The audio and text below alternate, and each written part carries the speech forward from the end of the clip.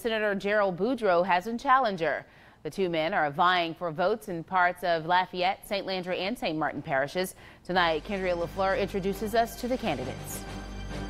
Gerald Boudreaux has been the state senator for District 24 for four years and wants to continue to serve his constituents. The experience that I gained the first four years will put me in a position where we can probably uh, have a little more input um, on what comes back home and how we continue to build uh, that model, that model that will deliver services to all of our citizens. Boudreaux wants to help pass laws that can help veterans with resources. He also wants to focus on the education system. I'm looking forward to, to, to more dialogue, um, changing of some of the policies that are in place. I think we test way too much in the classroom. We need more instructional time and less testing time.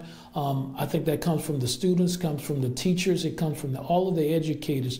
So education would be uh, one of the areas that I, I want to continue to work on. Boudreaux's opponent, Corey Levier, is a political newcomer. He's a U.S. Armed Forces veteran who's now a firearm instructor. If I went to war for Americans that I don't know, imagine what I'm going to do for the Americans that I do know. And the time has come simply to uh, to fight for the health, welfare, fight for the justice, you know, for the people of District 24. Levier says he wants to solve issues in the district without raising taxes. He also wants to focus on legalizing cannabis and mentorship opportunities for children. It's very, very important that we uh, send energy towards early childhood development and the mentoring of young young people, teenagers, so that you know they can have a better understanding of what life is.